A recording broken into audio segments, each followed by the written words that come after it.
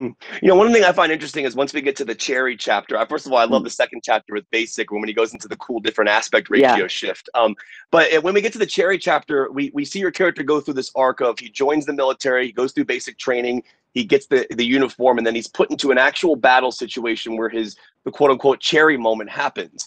Um, and I found that interesting. And I was thinking, uh, I know you're getting a ton of Spider Man questions, but I, I I found it interesting to think about that I that arc for you when you get the role, the homage, you know, getting the role, getting into the costume for the first time, doing all the rehearsals. But once you get on the set and are put into the actual moment, uh, mm. like Cherry was, I'm not comparing war to filmmaking, just uh, just the idea of it. Um, is, that, is, is there a Cherry moment for for you as Spider-Man where you're actually put into it for the first time?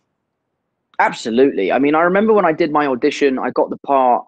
Um, I had like two or three days to kind of adjust to how my life was going to change. And then I was on a plane on my way to Berlin to start shooting.